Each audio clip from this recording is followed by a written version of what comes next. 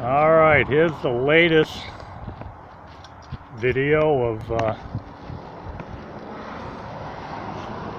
the teardrop trailer, pusher trailer. Kind of gives you a, a sense of what it's going to look like. That's where the tongue is going to attach to the bike. Here's a, uh, I can find it here. Here's the front door. Opens like a clamshell.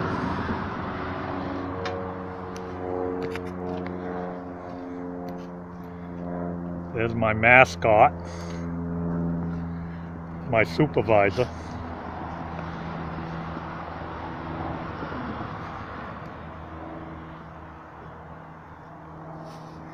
Here's the rear hatch.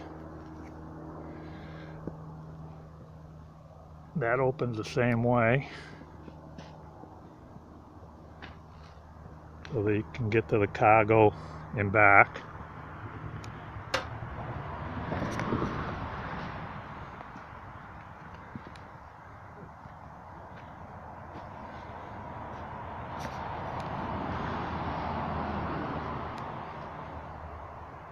There's where the engine's going to set.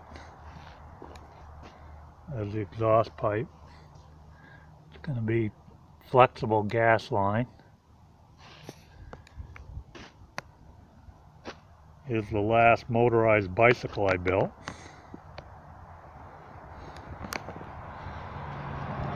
I don't know if you'll be able to read it or not.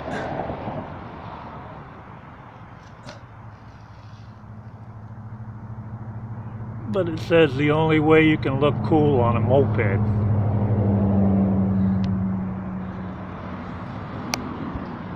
I built 25 of these. That one there is the only one with a gas tank like that. that's it. I'm starting to get a lot of interest. I will take deposits. Have a good one.